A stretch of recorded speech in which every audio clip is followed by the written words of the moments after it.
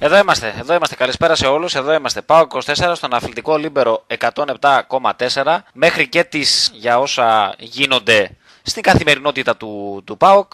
Η αλήθεια είναι ότι για δεύτερη σερί μέρα μετά από όλα όσα έχουν συμβεί στο ματς της περασμένης Τετάρτης με την ΑΕΚ ή μάλλον στο περιθώριο του ματς της ΑΕΚ με τον ΠΑΟΚ συνεχίζουν να συζητιούνται παρότι από χθες έχει γίνει γνωστό ότι η ΑΕΚ δεν θα κάνει ε, χρήση του δικαιώματος της έστασης της οποίας είχε ε, προκειμένου να διεκδικήσει το παιχνίδι και την νίκη εκτός γηπέδου και κατ' επέκταση τη δεύτερη θέση που οδηγεί στα προκριματικά του Champions League.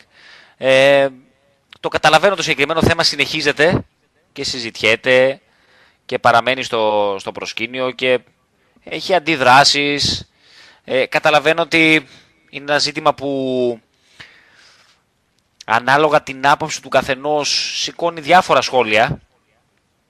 Ε, τη δική μας την άποψη την ακούσατε χθες ότι και αυτό το ζήτημα το οποίο προέκυψε ε, είναι ένα κομμάτι συνολικού προβλήματος, ε, ενός συνολικού προβληματικού τρόπου λειτουργίας. Ε, απλά αυτό το οποίο συνέβη φάνηκε να... ή μάλλον έδειξε, για να το πω πιο σωστά, το πόσο μεγάλο είναι το πρόβλημα λειτουργίας. Γιατί έγινε μια πολύ μεγάλη γκάφα σε ένα πολύ απλό θέμα, ε, στο οποίο εκτέθηκε όλη η ομάδα ε, για ένα πραγματικά πολύ έτσι ερασιτεχνικό ζήτημα. Αυτή είναι όμως η πραγματικότητα. Με αυτό πορεύεται ο ΠΑΟΚ ε, και αυτό είναι κάτι που θα πρέπει να αφήσει πίσω του προκειμένου να τελειώσει τη σεζόν την Κυριακή όπως πρέπει, να πάρει τον έναν ή βαθμού με τον Άρη και να τελειώσει δεύτερος μέσα στο γήπεδο. Και από εκεί και πέρα να δούμε πώς θα εξελιχθεί η όλη η υπόθεση με την Επιτροπή Εφέσεων, με το, με το ΚΑΣ, ποιοι θα είναι αυτοί οι οποίοι θα δικάσουν στην ε, Επιτροπή Εφέσεων, γιατί όπως βλέπετε κάθε μέρα υπάρχουν, ε, ε, γίνονται γνωστά μάλλον, γίνονται γνωστές οι αποφάσεις εφετών ότι δεν θα είναι στη διαδικασία αυτή. Μάλιστα αφού έγινε γνωστό ότι οι δύο πρώτοι, ο κύριος Φιλόπουλος και ο κύριος Βριώνης, δεν θα βρίσκονται στην εξέταση της υπόθεσης που επιστρέφει από το ΚΑΣ, δεν θα είναι ούτε ο τρίτος, ο κύριος Γόκας, ο, ο, ο κύριος Βόκα, μάλλον συγγνώμη, ο οποίος είχε μειοψηφίσει στην απόφαση εκείνη, κάτι που δεν συνηθίζεται σε μια τέτοια τριμελή επιτροπή εφέσεων. Σχεδόν πάντα οι αποφάσεις είναι ε, και των τριών οι ίδιες. Ε, ξέχασα τη λέξη. Πω, πω, σοκ. Είναι η προηγούμενη εκπομπή που τράβηξε μια ώρα σε ρί και χάθηκε ο εγκέφαλος. Ε, οπότε θα πρέπει να βρεθούν ποιοι θα δικάσουν την όλη, την όλη υπόθεση. Ε, εδώ και λίγη ώρα υπάρχει ένα ενδιαφέρον δημοσίευμα ε, στο εξωτερικό, στη Βουλγαρία συγκεκριμένα, για τον ε, Γεώργη Μιλάνοφ και λέω, ε, και λέω ενδιαφέρον δημοσίευμα γιατί το όνομα δεν γράφεται για πρώτη φορά στη Βουλγαρία για ενδιαφέρον του ΠΑΟΚ, για τον 28χρονο επιδοτικό ε, της Βίντι. Όσοι τον θυμάστε, ε, ήταν ένας από τους παίχτε που είχε ξεχωρίσει σε εκείνα τα παιχνίδια του ΠΑΟΚ με, την, ε, με τη Βίντι. Ε, αυτό το οποίο αναφέρει είναι ότι οι δύο παίχτε είναι πολύ κοντά στη συμφωνία. Ε, γι' αυτό λέω ότι έχει το ενδιαφέρον. Όλο αυτό το διάστημα νομίζω ότι και πλησιάζοντας και προς το τέλος της ε, σεζόν τέτοια δημοσιεύματα με ενδιαφέρον, με βρίσκεται στη λίστα, με μιλάει, ε, θα τα βλέπουμε και είναι φυσιολογικό από τη στιγμή που θα ξεκινήσει και τυπικά η μεταγραφική περίοδος. Ωστόσο, ε, εδώ γίνεται κουβέντα για πολύ κοντά σε συμφωνία. Γι' αυτό έχει το, το ενδιαφέρον. Το Μιλάνο φέτος είχε ε, 9 assist και 3 γκολ σε 28 παιχνίδια με, την, ε, με τη Βίντι. Ε, δεν ξέρω αν ταιριάζει στο προφίλ του Πάουκ. Δεν ξέρω αν ο Πάουκ δεδομένη χρονική στιγμή με όλα όσα γίνονται ε, βάζει κάτω και ίσως να προχωράει κάποιες περιπτώσεις μεταγραφικές που μπορεί να έχουν ξεχωρίσει στη λίστα του. Ε, ωστόσο κρατάμε το ότι υπάρχει ένα δημοσίευμα που κάνει λόγο για ε, σχεδόν συμφωνία. Έτσι, πολύ κοντά στη συμφωνία. Μια ανάσα από τη συμφωνία το δίνουν οι, οι Βουλγαροί. Και βέβαια, ένα κομμάτι το οποίο ε, αλλάζει λίγο την ατζέντα, αλλά είναι πολύ σημαντικό, γιατί το, όλα όσα γίνονται, είτε έχουν να κάνουν με τις κάρτες υγείας, με αυτή την υπόθεση με την Επιτροπή Επαγγελματικού Αθλητισμού και δεν συμμαζεύεται ε, και όλα αυτά τα οποία γενικότερα συμβαίνουν φέτος και στο αγωνιστικό, πέρα από το εξαγωνιστικό που πραγματικά ε, όχι γράφεται βιβλίο, γράφονται τόμοι ολόκληροι, ε, υπάρχει το κομμάτι της ε, νέας τούμπας που προχωράει με βάση τα ελληνικά δεδομένα. Δηλαδή, το γεγονός ότι νομίζω ούτε ένα χρόνο δεν έχει που τρέχει το project μες εισαγωγικά και ξαναλέω πάντα με βάση τα ελληνικά δεδομένα, έτσι. Και όλη τη γραφειοκρατία που απαιτείται, όλες τις αποφάσεις που πρέπει να πάρθουν μέχρι να φτάσουμε σε ένα σημείο για να κάνουμε κουβέντα ότι χτίζεται η νέα τούμπα. Ε, η σημερινή εξέλιξη, ε, η οποία ανακοινώθηκε από το Υπουργείο Χωροταξίας και την ε, Διεύθυνση Περιβάλλοντος, ε, είναι ότι ε, την επόμενη εβδομάδα το θέμα της νέας τούμπας βγαίνει σε δημόσια διαβούλευση, είναι το επόμενο βήμα από εδώ και πέρα, με όσα έχουν συμβεί μέχρι τώρα.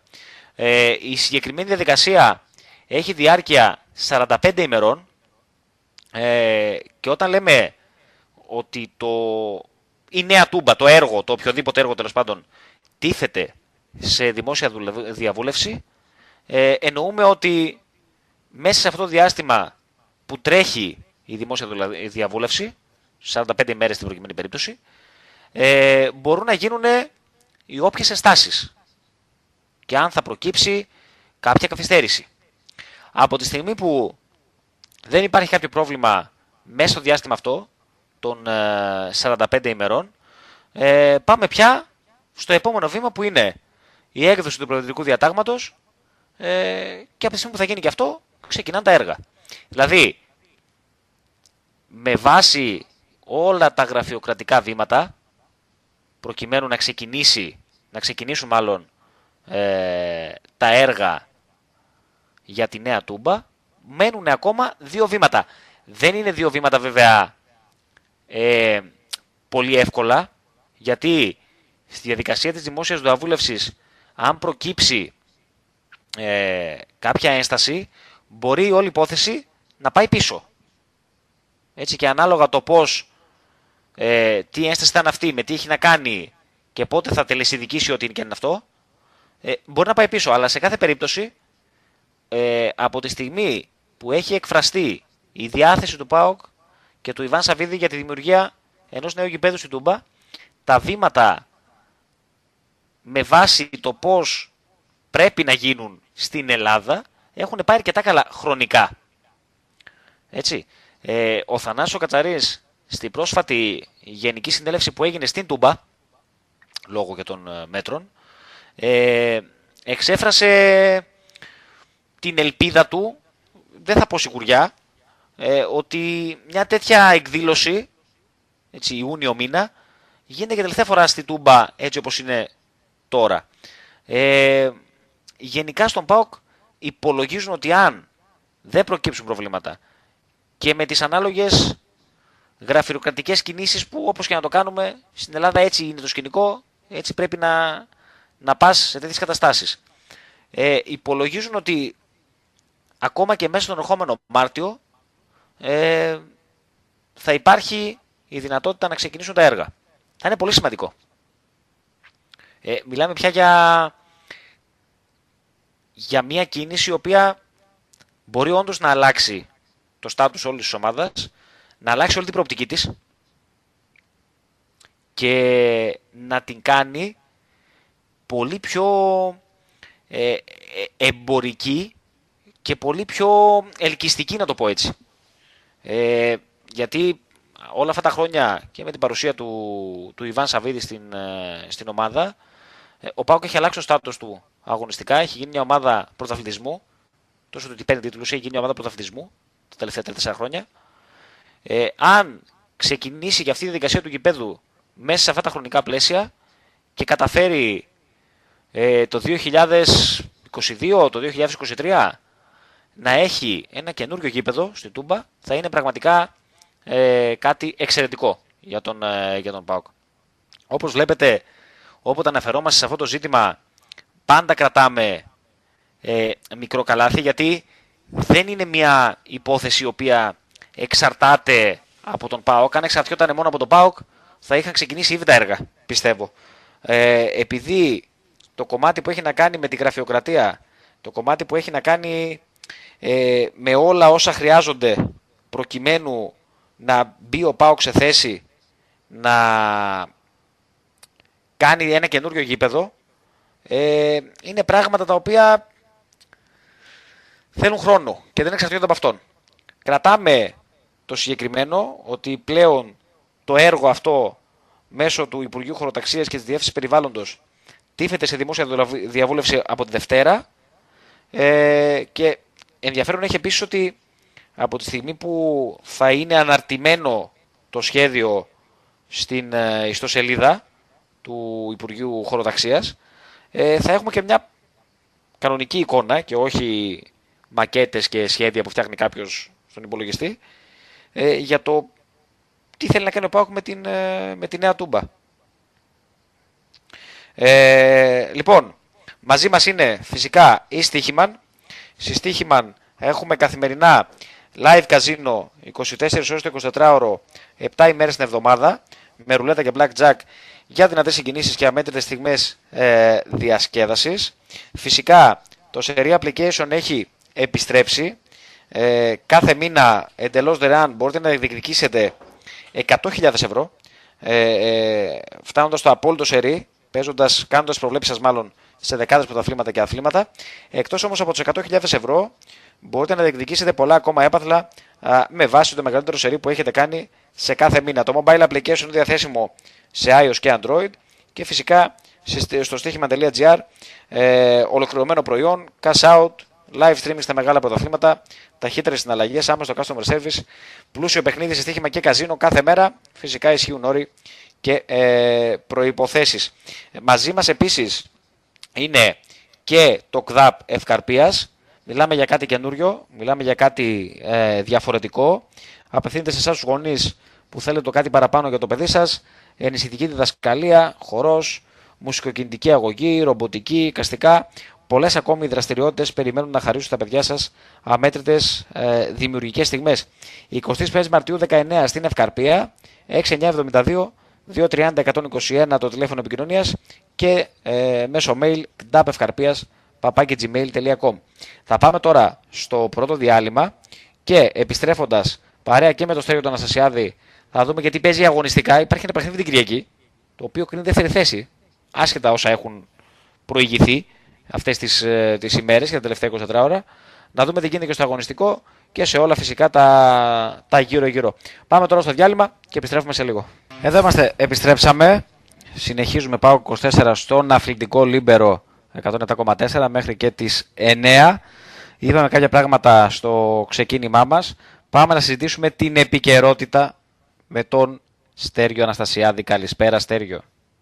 Καλησπέρα, καλησπέρα. Τι γίνεται φίλε; Τι να γίνεται. Υπομονή.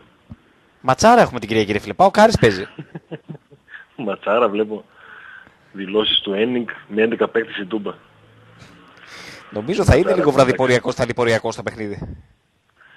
Ε, ελπίζω πως όχι. Καλά. Ελπίζω πως όχι. Εντάξει. Ναι. Θα πληρώσει ο κόσμος για το PAOK TV, θα κάτσει ο κόσμος στο PAOK τηλεόραση. Πάντα έχουν υποχρέωση οι παίκτες σε κάθε μάτς να δίνουν τον καλύτερο εαυτό. Να το κάνουν και την Κυριακή, να τελειώσει αυτή η ρημοδοχρονιά. Ας πούμε με ένα θετικό πρόσημο, εντάξει. Χρονιά, ναι. ενός, ενός έτους, ε, κανονικά. Ιούλιο ξεκίνησε, Ιούλιο τελειώνει. Ναι, και ημερολογιακά. Αύγουστο ξαναρχίζει και όλα καλά. Ε, ε, πριν πάμε σε αυτά, θέλεις να ξεκινήσουμε από την εξέλιξη που έχει να κάνει με το γήπεδο που είναι είναι σημαντικό ζήτημα, δεν είναι κάτι απλό. Πολύ σημαντικό. Πολύ σημαντικό και πολύ κρίσιμο, εντάξει. Ναι. Λοιπόν, θα το πούμε με απλά λόγια, εντάξει, για να το καταλάβουμε όλοι. Λοιπόν, ανακοινώθηκε ότι το θέμα της Νέας Τούμπας θα μπει σε δημόσια διαβούλευση, εντάξει, πιθανότητα από Δευτέρα. Τι σημαίνει αυτό, ναι. υπάρχει μια ιστοσελίδα, εντάξει, όταν έρθει η ώρα θα τη βάλουμε φυσικά στο 24, στην οποία θα υπάρχει όλη η μελέτη και τα πλάνα και ό,τι, έχει, ό,τι αφορά τη Νέα Τούμπα.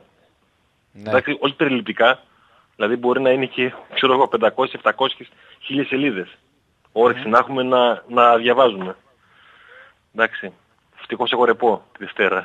λοιπόν, ε, θα μπει λοιπόν σε δημόσια διαβούλευση. Υπάρχει σαν λέω και δική του σελίδα. Για να είναι ξέρεις όλα στο φως ρε παιδί μου τα έργα στην Ελλάδα. Που αυτό ε, γι' αυτό υπάρχει και Απορώ γιατί... η συγκεκριμένη διαδικασία. Ναι. Και μπράβο λοιπόν που όλα είναι στο φως και δεν δίνονται έργα δηλαδή σε φίλους, κουμπάρους, αδερφές, μπατζανάκιδες, ναι. συνειφάδες κτλ. Άλλωστε είναι, όλο, είναι γνωστό της πάσης ότι στην Ελλάδα όλα είναι όπως πρέπει να είναι. Λοιπόν, ναι. θα μπει λοιπόν εκεί ε, τα σχέδια, οι μελέτες και όλες τις λεπτομέρειες για το γήπεδο της Τούμπας. Απ' τη μία θα μπορούν οι φίλοι του ΠΑΟΚ να ενημερωθούν με λεπτομέρειες, αλλά το σημαντικό δεν είναι, δεν μπαίνει εκεί για να ενημερωθεί ο κόσμος του ΠΑΟΚ. Ε, το σημαντικό είναι να διαβάσουν οι πολίτες το τι ακριβώς θα γίνει. Εντάξει, μιλάμε για πολίτες αυτή τη στιγμή και να καταθέσουν τις παρατηρήσεις τους, ε, τις ενστάσεις τους, τα κομμάτια που διαφωνούν και θα μαζευτούν όλα αυτά και θα πάει το θέμα στο Συμβούλιο Επικρατείας στη συνέχεια. Ναι. Εντάξει, προφανώς και δεν μπορεί να πει κάποιος, φαντάζομαι, ε, δεν μου αρέσει αυτό γιατί και να, να αποτελέσει εμπόδιο, αλλά είναι σίγουρα μια κρίσιμη διαδικασία, εντάξει. Mm-hmm. Θα, θα έχει ε, ενδιαφέρον σε κάθε περίπτωση. Η διαδικασία, ε, τώρα σε αυτό που λες, προφανώς και ε, σε αυτό το διάστημα 45 ημερών, σωστά; 45 μέρες. Που θα τρέχει τέλος πάντων η δημόσια διαβούλευση. Ε, ναι. Η ένσταση δεν έχει να κάνει με το ότι μαζευτήκαμε δύο άτομα και στείλαμε ε, ξέρω εγώ, κάτι που το βγάλαμε φαντάζομαι, μας. Φαντάζομαι, φαντάζομαι δεν γίνεται facebook. Δηλαδή όποιος θέλει ε, μπαίνει στο σχόλιο και απαντάει προφανώς. και like και τα λοιπά, ναι. εντάξει. Ναι. Για, για, να ξέρουμε και τι λέμε. Ε, η ουσία είναι ότι αφού περάσει το, το διάστημα αυτό 45 μέρες, μετά δεν μπορεί κανείς να κάνει ένσταση για το παραμικρό. Mm-hmm. Δηλαδή έχουν την ευκαιρία όλοι, αν υπάρξουν ορισμένοι θέλουν να κάνουν κάποια ένσταση, εντάξει. Mm-hmm. Μπορεί να μπει ας πούμε κάποιος ε, σπουδαίος πολιτικός μηχανικός και να πει ότι ο συντελεστής δόμησης είναι κατά ένα χιλιοστό μικρότερος και πρέπει να είναι μεγαλύτερος. Εντάξει, ή οτιδήποτε άλλο δεν μπορώ να φανταστώ. Τέλος πάντων αυτή είναι η διαδικασία και μετά τις 45 μέρες τελειώνει η δημόσια διαβούλευση. Ε, δεν μπορεί μετά κανένας ξαναλέω να κάνει ένσταση, παρέμβαση, οτιδήποτε. Αυτό είναι το περιθώριο. και όπως είχε, πει, θέμα... και όπως είχε πει Στέργιο και ο πρόεδρος, και να βρούμε για κανένα Ο πρόεδρος, αν βρούμε κανένα τάφο, εντάξει, δεν έγινε και τίποτα. Ε, ναι. Αν βρούμε κανένα τάφο, δηλαδή πραγματικά ήταν ε, περσινή στιγμή, Νίκο, με το Σταύρο ήμασταν για την αγάπη, ήταν από τις κορυφές, εντάξει. Τα ακούσαμε και live, αν βρούμε ναι. κανένα τάφο, υπάρχει κάπου, εντάξει, ο Χρήστος σας κάνει λίγο τα κουμάντα, το νομίζω ξέρει που είναι. Ναι, ναι. Γιατί πάντα μου αρέσει να το ακούω. Η φράση του Θανάση Κατσαρή. Εντάξει, να βρούμε κανένα τάφο, μας πούνε μετά αυτό και τα λοιπά. Μα να σου πω κάτι. Οπότε... Σε, αυτό, σε αυτό το σημείο είναι. το μη βρούμε κανένα τάφο. Τώρα είναι. Τώρα είναι αυτό το σκηνικό. Εντάξει, νομίζω ο Χρήστος θα το βρει και θα, θα το ακούσουμε λίγο, ξαναλέω, είναι... Ε, οπότε αν πιστεύει κάποιος Νίκο ότι υπάρχει κάτω τάφος στο Βουκεφάλα, ας πούμε, στην Τούμπα... Τώρα είναι ευκαιρία του. ή, του ή του Μεγάλου Αλεξάνδρου ή ξέρω εγώ, δεν ξέρω ποιανού άλλο έτσι ιστορικού προσώπου, τώρα είναι ευκαιρία να πει ότι έχω πληροφορήσει ότι είναι ο τάφος του Βουκεφάλα κατά την Τούμπα, άρα να το ψάξουμε λίγο περισσότερο. Ναι. Εντάξει. Λοιπόν, μπράβο που θυμήθηκε στην ατάκα του, του Προέδρου. Ναι, ρε φίλε. Καλές ατάκες. Μα το είπε ξέρεις, μέσα στην ψυχή του ότι αύριο με κανένα τάφο μας ταλαιπωρίζεται. Εντάξει, αυτό είχαμε πει και, και, και έχει δίκιο ρε φίλε. Γιατί κάτι τέτοιο μόνο μπορεί να τραβήξει πίσω την όλη υπόθεση. Να συσταθεί λοιπόν Νίκο μια επιτροπή από αγνά παοξάκια. Εντάξει, να λέμε ας πούμε ότι να, εκεί που λέγαμε ότι ο παππούς μου και είναι και αλήθεια και ιστορικά δεδομένο ότι όντως πολλοί κόσμοι του ΠΑΟΚ σχολούσε τις δουλειές και πήγαινε και κουβαλούσε στην πλάτη τούβλα για τη νέα τούμπα. Εντάξει, γιατί όντως έτσι ξεκίνησε το γήπεδο. Τώρα θα περάσουμε στην άλλη φάση να κάνουμε ομάδες έκτακτης ανάγκης, να βρούμε κανένα τάφο, να πηγαίνουν τα παιδιά, να πηγαίνουν τάφος αλλού, για να τελειώσει ναι. αυτή η ιστορία. Κοίτα τώρα, πέρα από το, από το χαβαλέ που κάνουμε, έτσι και είναι φυσιολογικό, ε, για παράδειγμα, δεν χρειάζεται να, να ψάχνουμε τίποτα φοβερό, να βλέπουμε τι γίνεται με το γήπεδο της ΑΕΚ, έτσι, που είναι το, το γήπεδο το οποίο έχει μπει σε φάση ολοκλήρωσης. Μέχρι να τελειώσει με τα ζητήματα αυτά, πέρασε πολύ καιρός. Βέβαια, η κάθε περίπτωση είναι διαφορετική, έτσι. Το ότι Ναι. μέχρι να φτάσει η ΑΕΚ στο σημείο να ξεκινήσει τα έργα για την Αγία Σοφιά πέρασε πολλούς χρόνους, δεν σημαίνει ότι θα γίνει για τον Πάουκ το ίδιο. Απλά μπορούμε να, να έχουμε μια εικόνα για ένα γήπεδο που επίσης φτιάχνεται τώρα.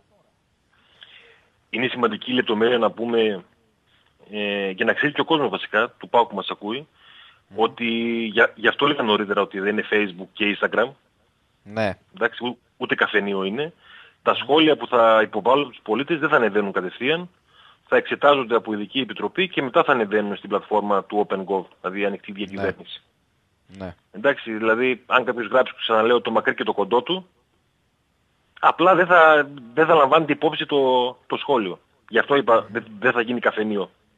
Ναι. Εντάξει. Ε, δεν ξέρω αν θα έχουν πολλή δουλειά εκεί οι άνθρωποι του, της ανοιχτής διακυβέρνησης, να δούμε κάποιο σχόλιο της προκοπής. Εννοείται πως θα την παρακολουθούμε την ε, διαδικασία σε καθημερινή βάση γιατί όντως είναι σοβαρή. Γιατί, όπως είπα και νωρίτερα, όπως το είπες και εσύ, μετά το πέρας των 45 ημερών δεν υπάρχει κανένα περιθώριο να κάνει ο, ο καθένας οποιαδήποτε ένσταση. Το θέμα μετά Ναι. πάει παραπέρα, θα είναι αμετάκλητη η διαδικασία και θα περιμένουμε Νίκο το ε, προοδικό διάταγμα που μπορεί να είναι και ε, να έχει βγει μέχρι και τον επόμενο Μάρτιο που φυσικά όπως έχουμε ξαναπεί είναι το τελευταίο στάδιο μπαίνει σφραγίδα και την επόμενη μέρα κιόλας ή την επόμενη ώρα από το προεδρικό διάταγμα μπορεί να ξεκινήσει η διαδικασία ε, ανέγυρης της νέας τούμπας αφού πρώτα κατεδαφιστεί η παλιά. Αυτό Ναι. είναι το καλό σενάριο. Εντάξει, ας έχουμε μια θετική σκέψη να μην προκύψει κάποιο πρόβλημα γιατί όλα μπορείς να τα περιμένεις. Εντάξει. Ναι. Ε, νομίζω, νομίζω στο κομμάτι αυτό ε, οι άνθρωποι που είχαν ε, την ευθύνη να κάνουν το πλάνο της μελέτες για το περιβάλλον, για το συντελεστή δόμησης, για το πώς θα είναι, πού θα είναι, νομίζω ότι κάνανε πάρα πολύ καλή δουλειά. Εντάξει. Και τώρα μπαίνουμε στην τελική ευθεία. Είναι πάντως κρίσιμη η διαδικασία που θα ξεκινήσει πιθανότητα τη Δευτέρα, την Τρίτη, εκεί είμαστε τώρα, εντάξει. Αλλά μπορεί και τη Δευτέρα να μιλάμε ότι ανέβηκε το θέμα της νέας τούμπας προς δημόσια διαβούλευση και ξαναλέω θα υπάρχουν πάρα πάρα πολλές πληροφορίες ουσιαστικά θα πρόκειται για ολόκληρο το, τη μελέτη να μπορεί ο καθένας και εμείς και ο κόσμος και όποιος ενδιαφέρεται να δει τι ακριβώς περιλαμβάνει το πλάνο για τη νέα τούμπα. ναι. Ωραία. Εντάξει. Ωραία. Έχει ενδιαφέρον αυτό το ζήτημα. Και, Έχει ενδιαφέρον γιατί και, εντάξει. και σε ένα μιλάμε καλό λίγο timing, για- για... φίλε, να σου πω την αλήθεια. Επικοινωνιακά. Τώρα μην κρυβόμαστε. Εντάξει. Ναι. Φεύγει λίγο κουβέντα Κοίταξε, από τα άλλα. ε, ήταν καθαρά συμπτωματικό εντάξει, δηλαδή δεν εξαρτώταν από τον ΠΑΟΚ ας πούμε. Ναι, σωστά. Δεν ε, βλέπει ο ΠΑΟΚ το κλίμα και άντε να βγάλουμε αυτό. Βγήκε ε, γενικότερα ε, από την κυβέρνηση και όλες οι διαδικασίες ολοκληρώθηκαν σήμερα και έτσι προχωράει το, το θέμα. Δηλαδή δεν έγινε ισοπαλία στο ΟΑΚΑ και μετά από λίγα λεπτά είδαμε χορηγία στην Αγία Σοφιά. Εντάξει. Οκ. ε, καταλαβαίνει ο καθένας Νίκο πόσο τεράστιο έργο είναι για όλη την ασφάλεια οικογένεια αυτό το έργο, εντάξει.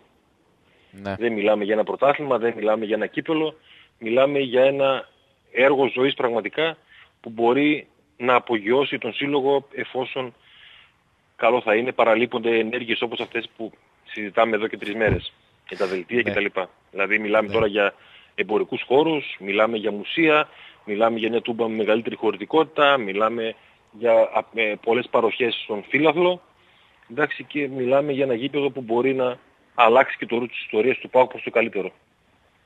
Και φυσικά αλλάζει και την περιοχή, εντάξει. Δηλαδή γίνεται η Τούμπα νομίζω το επίκεντρο για καθημερινή παρουσία κόσμου.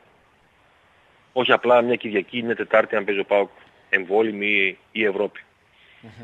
Μακάρι γύρι να μας Μάλιστα. όλοι να το παρακολουθούμε, να μην υπάρχει ξαναλέω κάποιο απρόπτο και να πάνε όλα όπως πρέπει να πάνε για Μάρτιο, Απρίλιο να έχουμε το προοδικό διάταγμα και να ξεκινήσει μετά η διαδικασία. Να δούμε μετά πού θα παίζει ο ΠΑΟΚ, πότε θα ξεκινήσουν τα έργα και να μιλάμε μετά πλέον να μπει και το ρεπορτάζ αυτό στην καθημερινότητά μας. Αυτά για το Μάλιστα. γήπεδο. Κάτι άλλο δεν μπορώ να, να πω. Από Δευτέρα ξαναλέμε και περισσότερες λεπτομέρειες. Ε, Πηγαίνοντας στα πιο ποδοσφαιρικά, τώρα ενόψει Κυριακής Οκ, Ναι. δεν ξέρω τι περιμένουμε να δούμε. Να ξέρεις ότι πλέον ε, ε, έχω πάψει να ελπίζω σε πολλά με όσα γίνονται. Δηλαδή δεν θα μου κάνει εντύπωση να γίνει το οτιδήποτε την Κυριακή. Το οτιδήποτε, πραγματικά. Ε, Όχι, εμένα θα, θα, μου- θα μου κάνει, εντάξει. Εμένα θα μου κάνει, δηλαδή τώρα... ναι, οκ. Ε, Οκ, καλά τα λέμε, καταλαβαίνουμε και το κλίμα που μιλάμε, εντάξει. Αλλά ε, η ομάδα έχει ένα στόχο. Εγώ καταλαβαίνω ότι μπορεί να υπήρξε και τσατίλα και οτιδήποτε άλλο, αλλά όταν, όταν κυλάει Νίκο η μπάλα μέσα, τα πιο πολλά μένουν απ' έξω. Και μιλάω και για τους παίκτες, αλλά και για τον κόσμο. Δηλαδή σήμερα αν μιλάμε, μπορεί να είναι το θέμα αυτό τέταρτο θέμα κουβέντας. Ε, όταν θα φτάσει η Κυριακή 5-6 το απόγευμα, 7-8 η σέντρα, ξεχνάς και γήπεδο και δελτία, εντάξει. Και ο κόσμος θέλει ε, μία μεγάλη νίκη, αν είναι δυνατόν. Εγώ θα πω μία νίκη υπό τη φάση και μετά αν ανοίξει το ματς, γιατί εντάξει τώρα η διαφορά έτσι κι αλλιώς ήταν ε, μεγάλη, ανεξάρτητα αν υπήρχε το ματς που όλοι θέλουμε να ξεχάσουμε αρχές του Ιανουαρίου. Οκ, καλύτερος ο Άρης, πιο τυχερός, τραγικός ο ΠΑΟΚ, δίκαιη νομίζω η ήττα. Εντάξει, αλλά έτσι κι αλλιώς η διαφορά ποιότητας των δύο ομάδων είναι μεγάλη.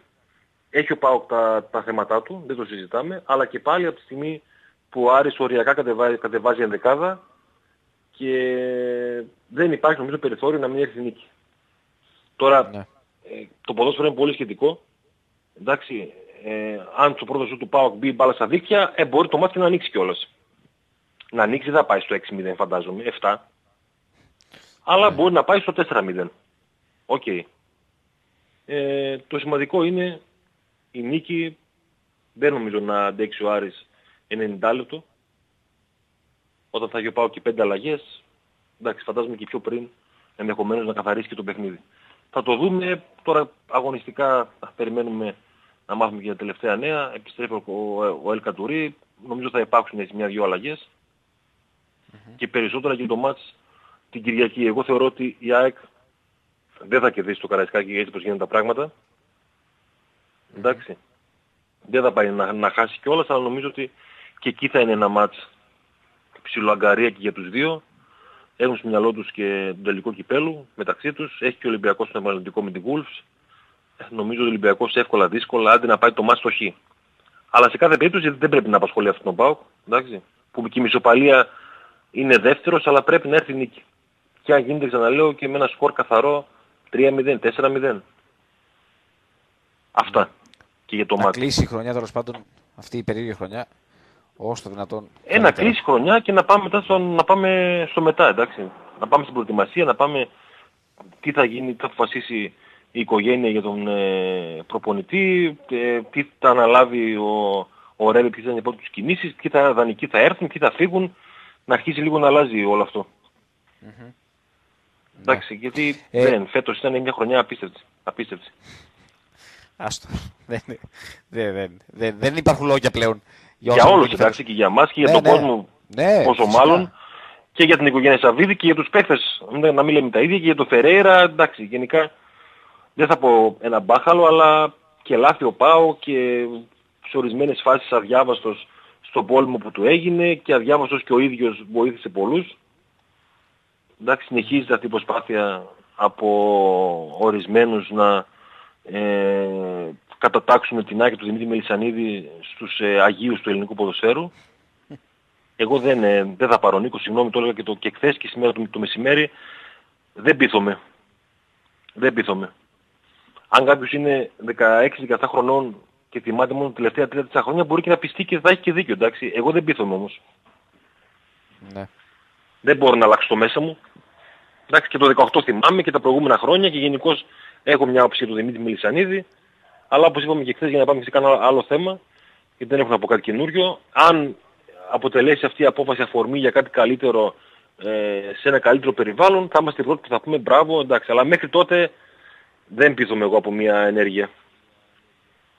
Εντάξει, όσοι Ναι. πείθονται, ok, δικαίωμά τους και όσοι θέλουν να πούμε ότι ε, ο Δημήτρης Μελισανίδης είναι ο καλύτερος παράγοντας και ο πιο ηθικός και η ΑΕΚ είναι διαφορετικό να είσαι ΑΕΚ, ε, το ξέρουμε ότι είναι διαφορετικό να είσαι ΑΕΚ, με, από πολλές απόψεις.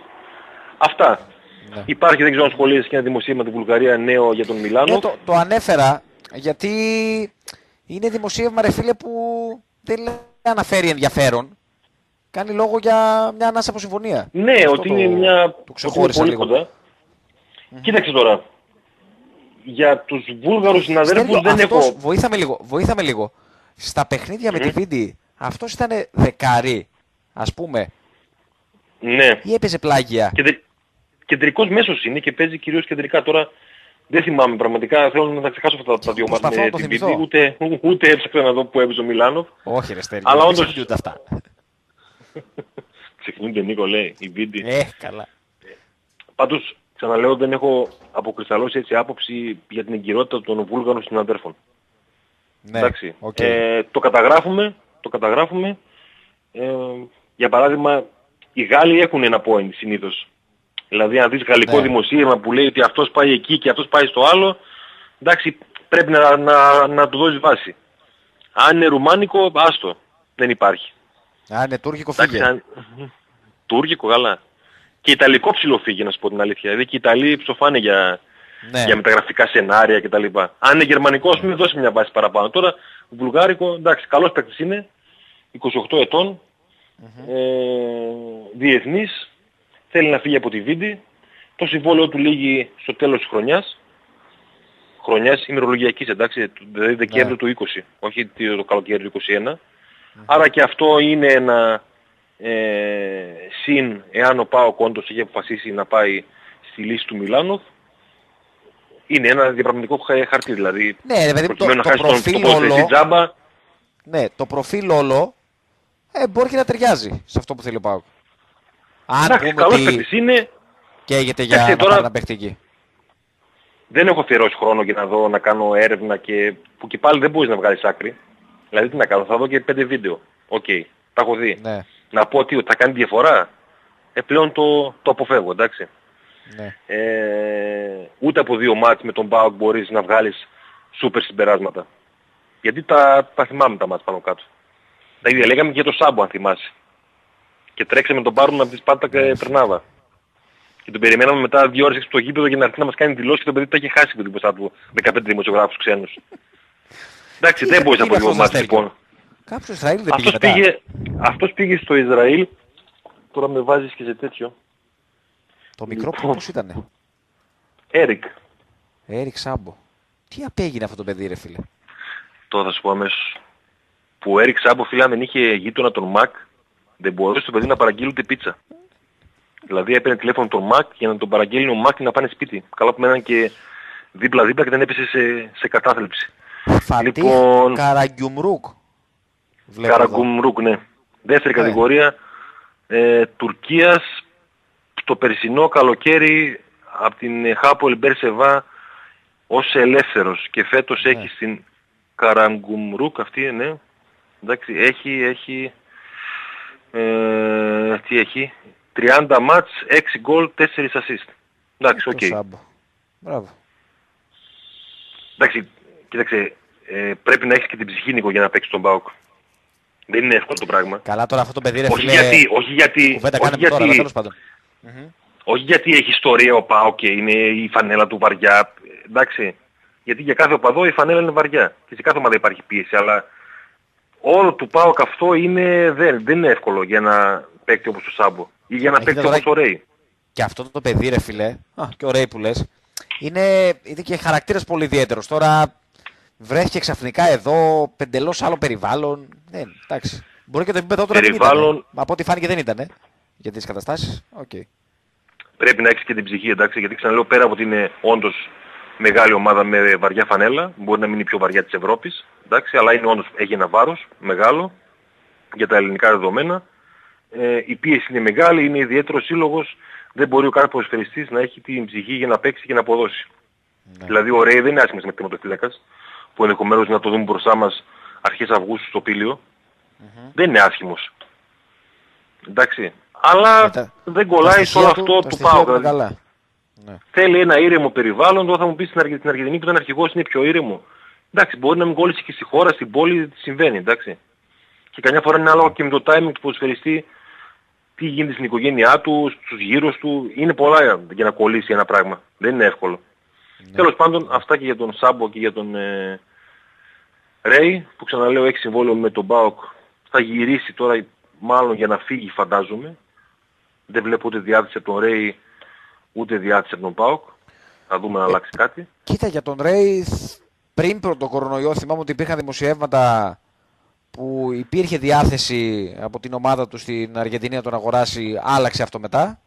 Βο, βοήθα με λίγο, το ξεχνάω. Ο, ο Ρέι είχε πάει στο Μεξικό και μετά πήγε, γύρισε είχε πάει στο Μεξικό και πήγε. Σωστά, ναι. Ναι, OK. Okay. Και από ένα σημείο και μετά τα δημοσιεύματα λέγανε στην Αργεντινή ότι δεν μπορεί να πληρώσει τέλος πάντων η Γοδόι τη ρήτρα του. Επιστρέφει εδώ και βλέπουμε. Okay. Κοίταξε, έχει πει και ο ίδιος, έχει δώσει αρκετές συνεντεύξεις Mm-hmm. Έχει πει ε, 11 Μαΐου, μια σχέση με το Ρέι, θα μου άρεσε να επιστρέψω στον ΠΑΟ, καλά είναι δύσκολο. Ναι. Ε, 26 Ιουνίου διαβάζω στο ΠΑΟ 24, γυρίζω στον ΠΑΟ και αποφασίζουμε.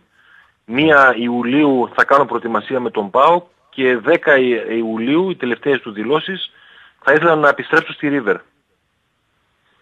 Εντάξει, θα ήθελα να επιστρέψω στη River. Ε, αν υπάρχει δυνατότητα να παίξω από τις οδηγίες του Γκαγιάρδο κτλ. λοιπά Πέρασα 8 χρόνια στη River, έκανα φίλους, έπαιξα εκεί ποδόσφαιρο. το μυαλό του δεν, δεν, στο μυαλό του δεν, δεν είναι ο ΠΑΟΚ νομίζω. Mm-hmm. Γιατί και το διάστημα που πέρασε στη Θεσσαλονίκη δεν ήταν για τον ευχάριστο, όπως δεν είναι για παράδειγμα ναι. ε, το διάστημα που πέρασε ο Μίσιτς στη Λισαβόνα. Mm-hmm. Δεν θέλει να ναι. γυρίσει στη Λισαβόνα, εντάξει λογικό είναι. Να δούμε τι γίνει και με το Μίσιτς, τώρα που το είπα. Αν υπάρχει μια εξέλιξη να, να το ψάξουμε λίγο. Ναι, είναι αυτό και αυτό από τα πολλά θέματα που πρέπει... Έμεινε πίσω. Ναι. Έμεινε Καλά. πίσω. Από τη στιγμή που θα ολοκληρωθεί το, το αγωνιστικό, θα έχουμε θέματα να συζητάμε κάθε τρεις και λίγο, όλο και κάθε προκύπτει. Με τόσες ανοιχτές υποθέσεις. Κοίταξε, θα κάνουμε καταρχήν έναν απολογισμό. Ναι. Εντάξει. Εγώ θέλω να το κάνω δηλαδή. Νομίζω και πρέπει να το κάνουμε. Στο ραδιόφωνο πιο επιγραμματικά. Έχουμε και γραπτά κείμενα λίγο πιο αναλυτικά γιατί πρέπει να κάνουμε έναν απολογισμό. Ναι. Αν και νομίζω ότι πλέον ξέρεις, με τόσο πληροφόρηση ο κόσμος ξέρει πάνω κάτω τι έγινε. Mm-hmm. Δεν μπορεί να πει κανείς κάτι που να ξέρει να ε, ταράξει κάποιον. Να πει όχι ρε φίλε έγινε και αυτό. Αυτό που τον τάραξε ήταν αυτό με τα δελτία και τις κάρτες υγείας. Εντάξει, δεν είναι τόσο σύνθετο το θέμα τι δεν πήγε καλά στον ΠΑΟΚ.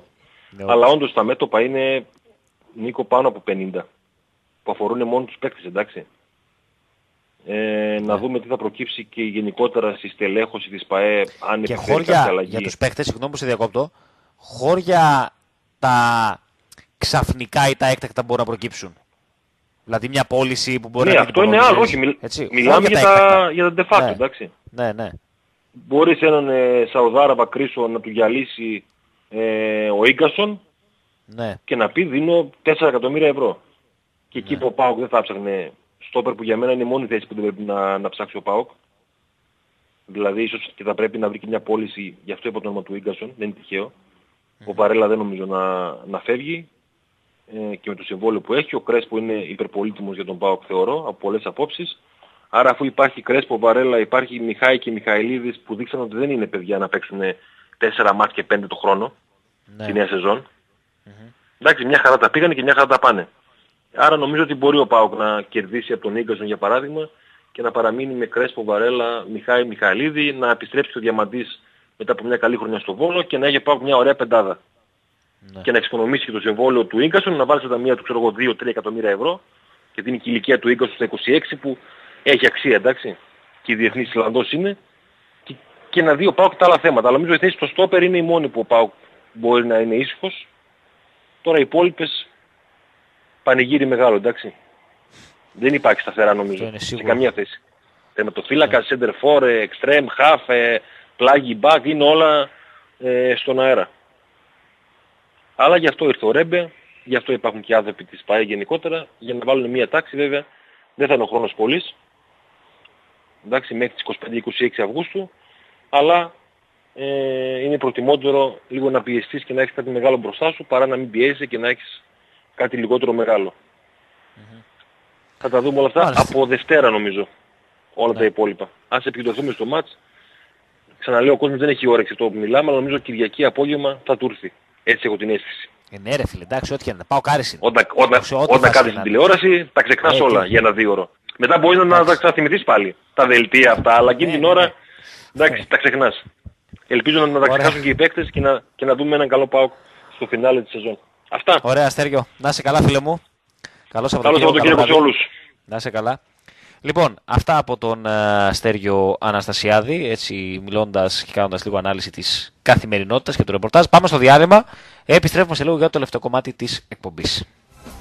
Λοιπόν, εδώ είμαστε, επιστρέψαμε. Τελευταίο κομμάτι της ε, εκπομπής, στον ε, Πάο Κωνσταντίνο Αθλητικό Λίμπερο 107 4 εδώ μέχρι και τις 9 ε, είπαμε αρκετά με τον, με τον Στέριο και για το θέμα του γηπέδου που έχει προκύψει ε, και για το ε, όσο μπορούμε να μείνουμε στο αγωνιστικό, αν και βέβαια αυτό έχει πάει λίγο πίσω. Ε, περιμένουμε και από πλευράς ε, πάω και ενημέρωση όσον αφορά την προπόνηση, αν και δύσκολο να προκύψει κάτι καινούριο όσον αφορά το παιχνίδι με τον, με τον Άρη την, την Κυριακή. Να μείνουμε λίγο στα, να πάμε λίγο στα, στα του μπάσκετ, σε αυτό το τελευταίο κομμάτι της, ε, της εκπομπής, γιατί ε, έχουμε αναφερθεί κατά καιρούς στο ότι ε, ο ΠΑΟΚ ψάχνει διάφορες υποθέσεις, έχει κάνει κάποιες επαφές, ε, αλλά μέχρι τώρα δεν έχει προκύψει ε, κάτι. Και επειδή γενικά είμαστε στη, σε αυτή την εποχή που το, το έχω αναφέρει πολλές φορές, γράφεται κάτι κάπου, αναπαράγεται αμέσως και ξαφνικά υπάρχει ένα ζήτημα.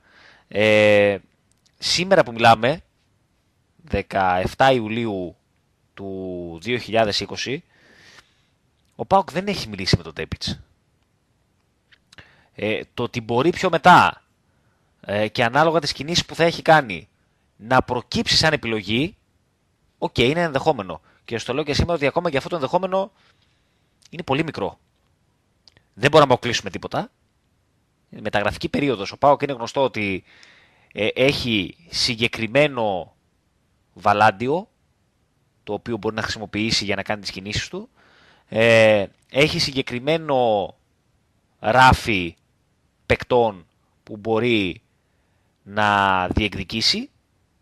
Ε, αλλά ούτε προτεραιότητα που τελεί τώρα για τον Πάοκ να φέρει τον Τέπιτς. Προσωπικά, αν με ρωτάτε, τον Τέπα το θεωρώ πολύ χρήσιμο σε οποιαδήποτε ομάδα. Αυτό είναι μια άλλη κουβέντα όμως. Δεν είμαι ούτε εγώ προπονητής, ούτε ο τεχνικός διευθυντής, ούτε ο team manager, ούτε κανένας μέσα στην ομάδα. Ε, αυτό λοιπόν που λέω είναι ότι είναι και άκερο τη δεδομένη χρονική στιγμή ε, που ο Πάοκ ας πούμε περιμένει την απάντηση του, του Μαργαρίτη. Ε, είναι μια απάντηση η οποία ε, ανάλογα το, το ποια θα είναι ε, κρίνει και άλλες κινήσεις. Ανοίγω μια παρένθεση γιατί κλείνω γιατί ήρθε ενημέρωση από την ε, ΠΑΕΠΑΚΟ για της προπόνησης. Ε, ο γκασον και ο Πασχαλάκης έκαναν ατομικό πρόγραμμα ε, και όπως αναφέρει στο δελτίο τύπου ε, και τον δύο η συμμετοχή στο παιχνίδι με τον Άρη θα κρυθεί τελευταία στιγμή. Ε, ο Λάμπρου προπονήθηκε μαζί με την ομάδα, ο Πέλγας από θεραπεία. Οπότε καινούριο ζήτημα αυτό του Πασχαλάκη για τον ε, Αμπελ Φεραίρα Κυριακής αύριο πάω στις 10 το πρωί μια προπόνηση στην Τούμπα και αργότερα θα γίνει γνωστή η αποστολή. Προφανώς και οι δύο θα είναι, και ο γκασον και ο Πασχαλάκης, αλλά η συμμετοχή τους θα ε, αποφασιστεί έτσι λίγο πριν, ε, πριν το παιχνίδι. Κλείνουμε λοιπόν την παρένθεση αυτή και επιστρέφουμε στα, στα του μπάσκετ. Ε, έχουμε αναφέρει και μέσα από το ΠΑΟΚ 24 και το τι συμβαίνει με τον Μαργαρίτη ε, και γενικά ότι ο ΠΑΟΚ σε πρώτη φάση ε, τον ενδιαφέρει κυρίως η ελληνική αγορά να δει τι θα αντλήσει από εκεί ε, και από εκεί και πέρα να κινηθεί και στο κομμάτι των, ε, των ξένων. Ε, η ελληνική αγορά για το επίπεδο του ΠΑΟΚ και βάζοντας και κάποια συμπλήν ε, έχει περίπου ένα καλάθι 10 παικτών πάνω κάτω. Ε, η κάθε περίπτωση είναι ε, διαφορετική. Ε, έχει κάποιους παίκτες στην περιφέρεια, κάποιους στο 4, κάποιους στο 5. Ε, απλά το έχουμε αναφέρει, το αναφέραμε και σε προηγούμενες μεταγραφικές περιόδους στο, στο μπάσκετ, ότι είναι τέτοια κατάσταση κάθε χρόνο, όταν κάθε καλοκαίρι πας να κάνεις μια καινούργια ομάδα, που ε, η κάθε κίνηση φέρνει ένα ντόμινο. Δηλαδή, ε, αν ε, ο Μαργαρίτης απαντήσει θετικά στην υπόθεση του Πάουκ και μείνει, ε, ο Πάουκ θα ψάχνει έναν ακόμα Έλληνα στο 4-5. Ε, αν η απάντηση ήταν αρνητική, θα πρέπει να βγει για δύο παίχτες εκεί. Δηλαδή θέλω να πω ότι είναι και ζήτημα που φέρνει ντόμινο εξελίξεων. Επίσης, μια κίνηση που μπορεί να γίνει σε μια ομάδα που είναι πάνω κάτω στο ίδιο επίπεδο, μπορεί να φέρει ντόμινο σε μια άλλη κίνηση που μπορεί να ενδιαφέρει τον Πάοκ. Τώρα να είναι μακριά και μετά από 5-10 μέρες να είναι κοντά. Ανάλογα την εξέλιξη. Ε, Εμείς, όπως έχετε καταλάβει, δεν την μπορούμε την ονοματολογία. Δηλαδή το να πετάμε 5, 6, 10 ονόματα και αν κάποιος από αυτούς μετά έρθει, που κάποιοι από αυτού θα έρθουν. Ε. Γιατί όπως είπαμε, είναι συγκεκριμένο το, το καλάθι το οποίο υπάρχει για επιλογές. Ε, όταν υπάρχει κάτι που θα είναι σε τελικό στάδιο θα το, θα το αναφέρουμε λίγο παραπάνω. Τη δεδομένη χρονική στιγμή από όλα τα ονόματα των Ελλήνων που μπορεί να απασχολούν τον ΠΑΟΚ, ε, μπορεί να, έχει γίνει κάποια να έχουν γίνει κάποιες προτάσεις ή τέλος πάντων κάποια διάθεση προτάσεων ε, και να, να υπάρχει έτσι λίγο κάτι που φαίνεται να είναι πιο κοντά, είναι η περίπτωση του Νότου Παπαντονίου. Αλλά μέχρι εκεί. Μέχρι εκεί. Και ε, νομίζω ότι άλλες κινήσεις προηγούνται ε, πριν ε, από αυτή που έχει να κάνει με τον, ε, με τον Παπαντονίου. Το αναφέρουμε, το κρατάτε το όνομα, θα δούμε πώς θα εξελιχθεί η συγκεκριμένη υπόθεση. Ε, ο ΠΑΟΚ προφανώς και κοιτάει την ελληνική αγορά, ξαναλέω ότι οι επιλογές είναι συγκεκριμένες, η κάθε μία μπορεί να έχει ε, να φέρνει εξέλιξη είτε θετική είτε αρνητική για άλλες περιπτώσεις. Ε, Προφανώς και κοιτάει και την Αμερικάνικη την αγορά. Ε, δηλαδή, ας πούμε, μια περίπτωση που ενδιέφερε τον Κώστα το Μέξα ε, πηγαίνει σε άλλη ελληνική ομάδα. Ε,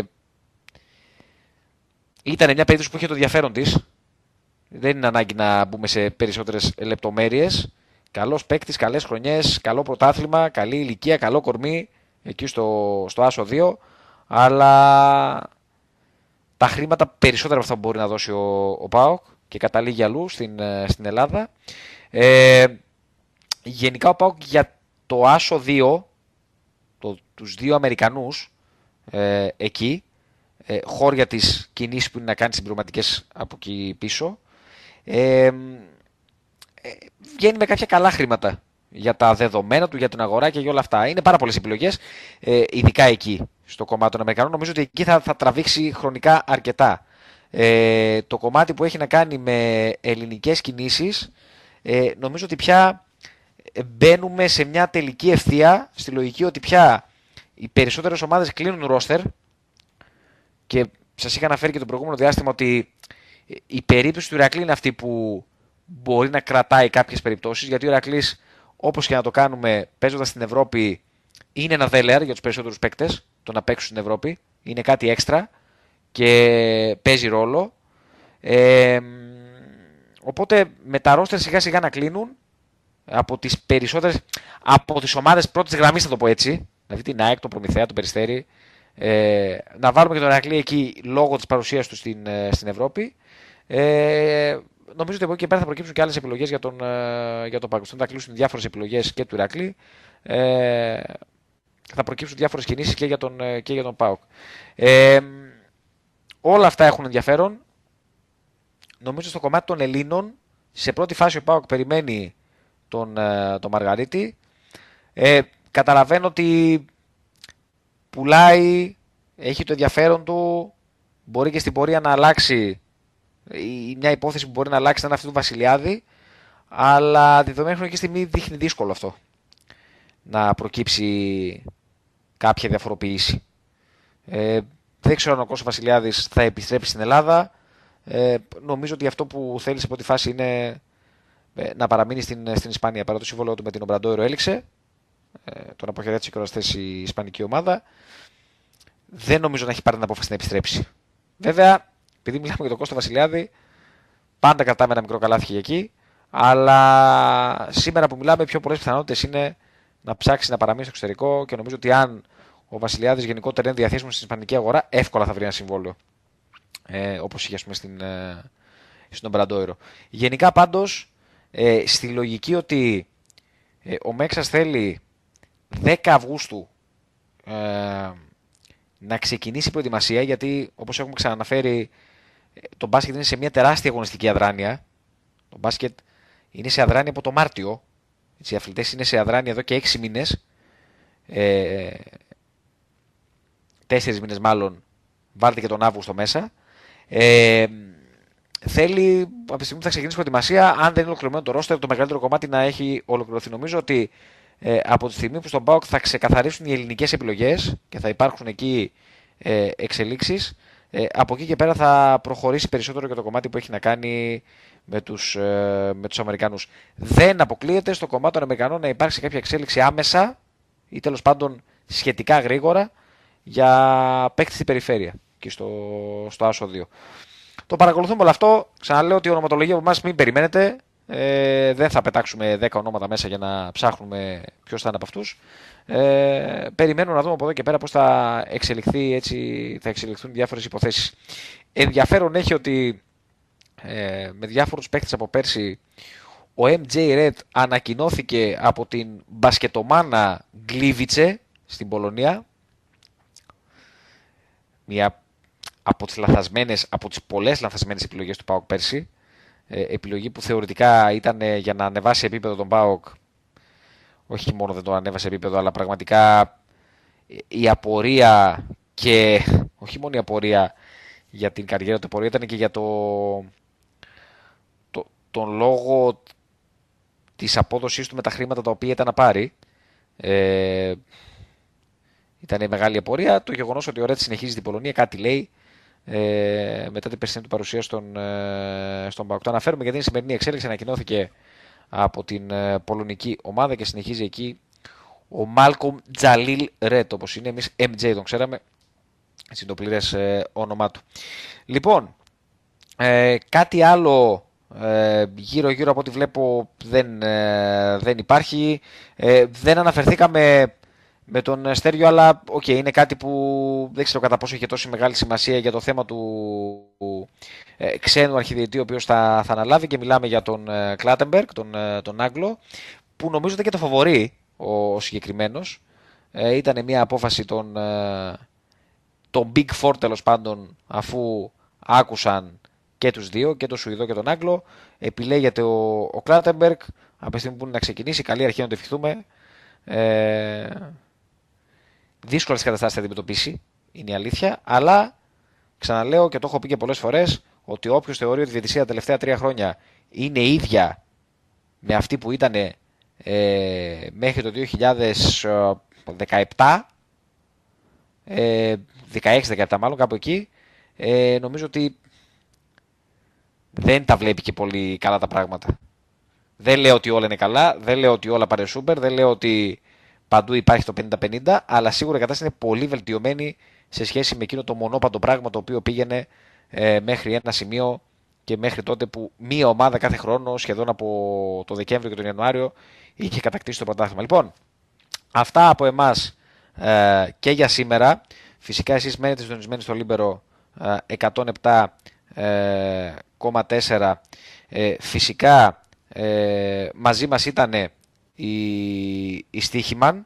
Στη Στίχημαν έχουμε ε, καθημερινά τις, ε, τις καλύτερες αποδόσεις που κυκλοφορούν στην, ε, στην αγορά. Στη Στίχημαν έχουμε ε, φυσικά ε, live καζίνο 24 ώρες το 24ωρο 7, 7 ημέρες την εβδομάδα. φυσικά έχουμε ρουλέτα, blackjack, ό,τι άλλο παιχνίδι έτσι σας φτιάχνει στο, στο καζίνο. Ε, φυσικά υπάρχει το Serie Application ε, το οποίο έχει επιστρέψει. Εσείς το έχετε αγκαλιάσει. Εσείς το έχετε ε, ανεβάσει πολύ ψηλά. Μιλάμε για μια εφαρμογή την οποία μπορείτε να κατεβάσετε και σε Android και σε iOS. Κάθε μήνα να κάνετε τις προβλέψεις σας σε δεκάδες πρωταθλήματα και αθλήματα και να φτάσετε στο απόλυτο σερί να κερδίσετε 100.000 ευρώ. Εκτός όμως από τις 100.000 ευρώ, μπορείτε να διεκδικήσετε πολλά ακόμα έπαθλα α, με βάση το μεγαλύτερο σερί που έχετε κάνει σε κάθε μήνα. Φυσικά, ε, στη Στίχημαν, ε, ολοκληρωμένο προϊόν, cash out live streaming στα μεγάλα πρωταθλήματα, ταχύτερες συναλλαγές, άμεσο customer service κάθε μέρα. Πλούσιο παιχνίδι στοίχημα και καζίνο. Φυσικά ισχύουν όροι και προποθέσει στο στοίχημα.gr. Ε, μαζί μας φυσικά είναι και το ΚΔΑΠ Ευκαρπίας, είναι κάτι καινούριο, είναι κάτι διαφορετικό, ε, απευθύνεται σε εσάς, στους γονείς που θέλετε το κάτι παραπάνω για το παιδί σας, χορός, μουσικοκινητική αγωγή, ρομποτική, ενισχυτική διδασκαλία, οικαστικά. Γενικά πάρα πολλές δραστηριότητες περιμένουν να χαρίσουν στα παιδιά σας αμέτρητες δημιουργικές στιγμές. 25 Μαρτίου 19 στην Ευκαρπία, 6972 230 121 το τηλέφωνο επικοινωνίας και mail το gdapευκαρπία papakegmail.com. Ακολουθεί κανονικά και με τον νόμο σήμερα, ε, ράδιο Μαρμίτα, με, με Ζάχο Ντρούλινγκ. Εμείς ραντεβού Θεού θέλω και καιρό επιτρέπονται στη Δευτέρα στις 7.30 ως πάω 24. Φυσικά το απόγευμα της Κυριακής στις 8 το ΠΑΟΚ-Άρης σε περιγραφή Στέργιο Αναστασιάδη και Νίκου Παπαδόπουλου. Έτσι μην το ξεχνάμε αυτό. Λοιπόν, καλό Σαββατοκύριακο σε όλους σας. Καλό βράδυ. Τα λέμε ξανά τη Δευτέρα.